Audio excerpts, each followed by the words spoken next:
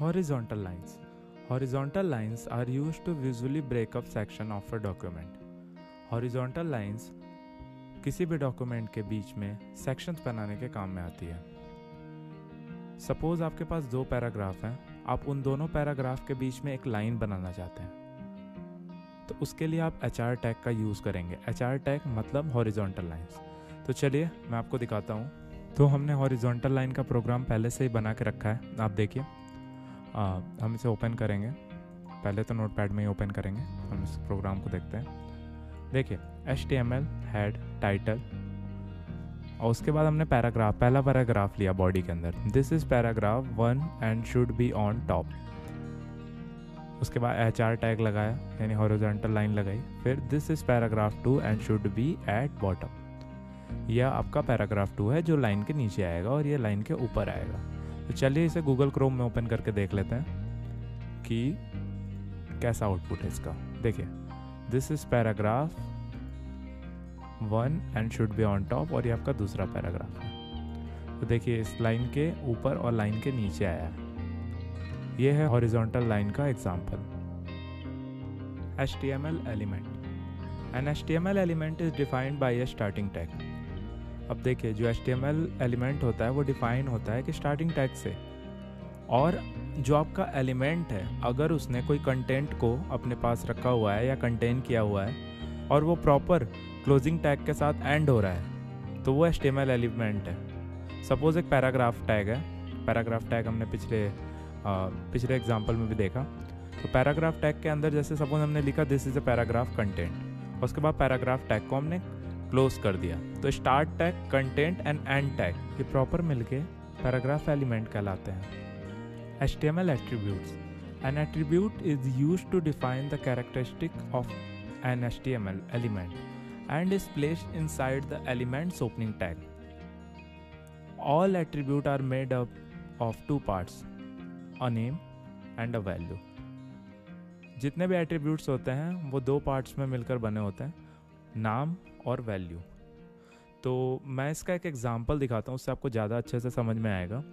हमने अलाइनमेंट का एग्ज़ाम्पल लिया है, जिसमें लेफ़्ट सेंटर और राइट अलाइनमेंट हमने सेट किया है। ओके तो हमने अलाइन एट्रीब्यूट का एग्ज़ाम्पल के लिए एक प्रोग्राम ऑलरेडी बना के रखा है, जो चलिए मैं आपको दिखाता हूँ। ये देखिए। हमने टाइटल में लिखा है अलाइन एट्रीब्यूट एग्ज़ाम्पल जो कि हम हमेशा कर रहे हैं।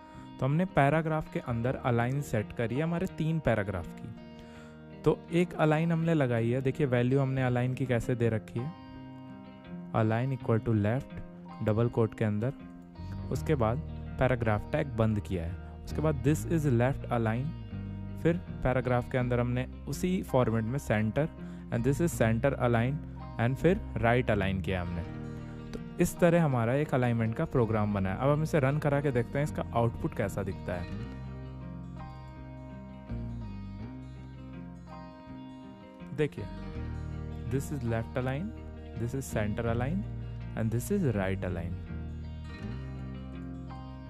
तो ये आपका एट्रीब्यूट का एग्ज़ाम्पल है। M L formatting if you use a word processor You must be familiar with the ability to make text bold, italic, or underlined. These are just three of the 10 options available on indicate how text can appear in HTML.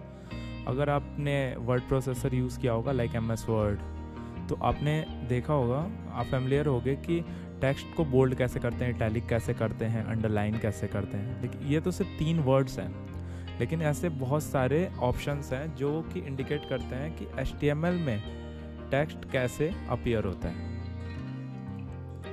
तो चलिए हम देखते हैं formatting कैसे करते हैं। तो सबसे पहले हम बोल्ड का प्रोग्राम देख लेते हैं।